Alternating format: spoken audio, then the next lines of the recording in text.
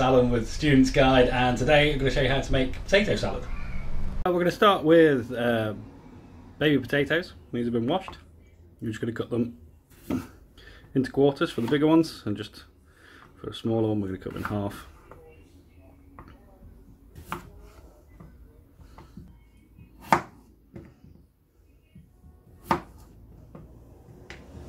Cold water and some salt.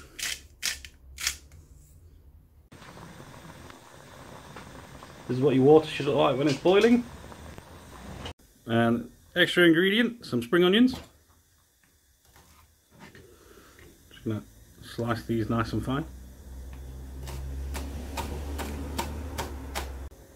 Okay, so what we're going to add to uh, our potato salad is mayonnaise, salt and pepper, some spring onions, chives, and dill. What we're going to do is we're going to put the mayonnaise in first.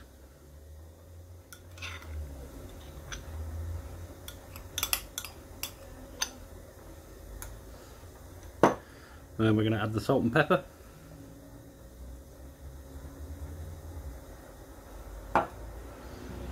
Our chives. Our dill. And we're going to mix this all together.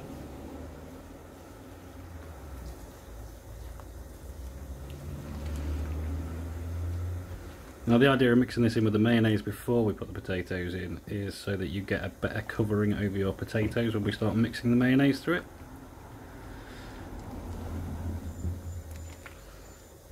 Right, now we're going to add in the spring onions.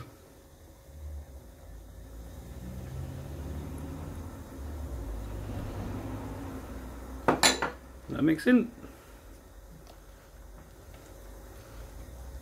So what we need to do now the potatoes are cooked is drain the hot water. What we also need to do is cool them down, which we need to do fairly quickly. So we do that with running cold water.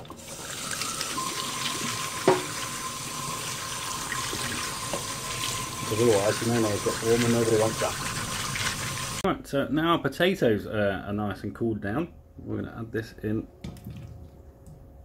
to our mix. Just start stirring so we get the potatoes fully covered by the mayonnaise.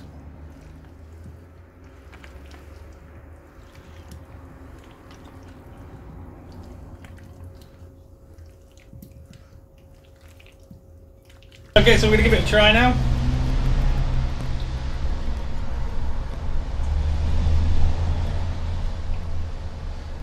And the dill gives the mayonnaise a really nice twist. And it's well worth it.